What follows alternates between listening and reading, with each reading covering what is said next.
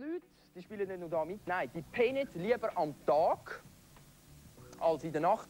Wieder andere, die treiben lieber am frühen Morgensport statt am Abend. Wieder andere, die gehen statt in den Ausgang spörteln. Und das erst ab Mitternacht. Midnight Basketball und Midnight Fußball, das ist ein Schweizer Projekt, ja, wo man eben geht spörteln, und zwar ab Mitternacht. Der Rico Just hat sich zu Opfiken die Ball und die Nacht um die Ohren geschlagen.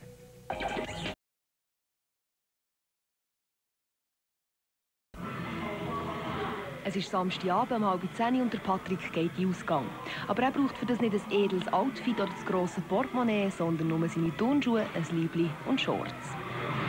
Mein Basketball spiele ich schon seit angefangen hat, seit einem Jahr schon. Und ich komme da gerne da, weil mit den Kollegen zusammen spielen und Freude einfach am Basketball haben. Die einzelnen Teams werden von den Leitern willkürlich zusammengestellt.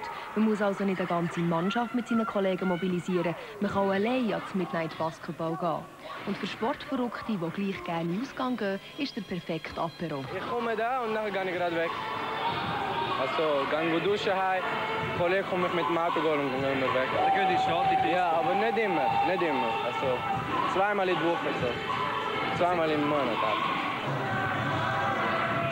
Klar will jeder mit seiner Mannschaft gewinnen, aber im Vordergrund steht es nicht. Der Spielmodus ist ganz einfach. Grundsätzlich bleibt das Siegerteam am Tisch oder in diesem Fall auf dem Platz. Der Coach ist nicht wie im normalen Club der Chef, sondern eher ein Kollege, der halt auch um ist.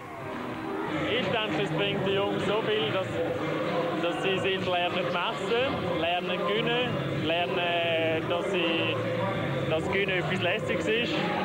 Sie lernen aber auch verlieren, weil es hat solche gehabt, die am Anfang nicht haben können verlieren Am Anfang sind, sind nach zwei Spielen, wenn sie verloren haben, sind sie heimgegangen, sind stolz gewesen, oder zweigig gewesen, um nochmal anzutreten.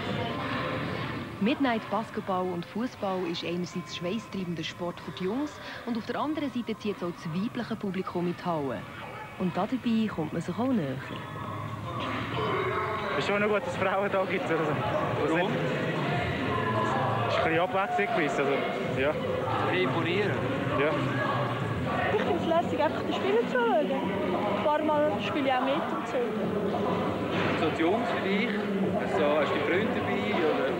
Nein, also, ich habe keinen Freund Und ja, es hat natürlich schon herzige dabei und so. Nach zwei Stunden, zur Nacht um 12 Uhr, ist die Trainingseinheit vorbei. Die einen sind so fertig, dass sie nur noch heim, unter Dusche und ins Bett wollen. Und die anderen gehen jetzt noch ins Haus, sprich Bar oder Club weiter.